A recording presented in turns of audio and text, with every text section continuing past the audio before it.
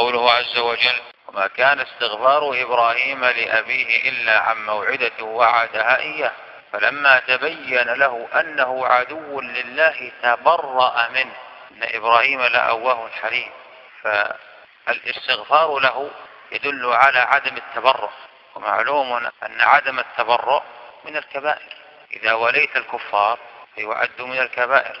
فالاستغفار لهم نوع من أنواع الولاء. واقرأ ما بعدها.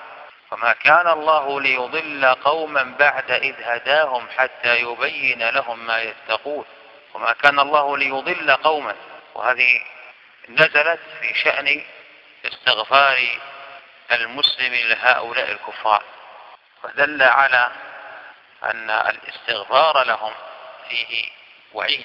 ما كان الله ليضل قوما بعد إذ هداهم حتى يبين لهم ما يتقون. إن الله بكل شيء عليم. فما جاء قوله تعالى وما كان استغفار إبراهيم لأبيه إلا عن موعدة وعدها إياه. يدل على أن هناك ارتباطا وهو أن ما صنعه النبي عليه الصلاة والسلام من الاستغفار إنما هو اقتداء بإبراهيم عليه الصلاة والسلام. فلا يكون بفعل إبراهيم عليه الصلاة والسلام اقتداء في هذا.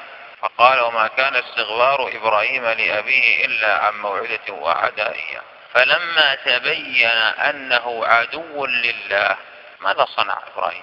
تبرأ منه. فإبراهيم عليه الصلاة والسلام تبرأ منه. ومعلوم أن عدم التبرؤ من الكبائر. فيفهم من هذا أن الاستغفار لهؤلاء داخل في عدم التبرؤ. لكن ذكر التبرؤ هو دليلنا في الحكم بأنه من الكبائر.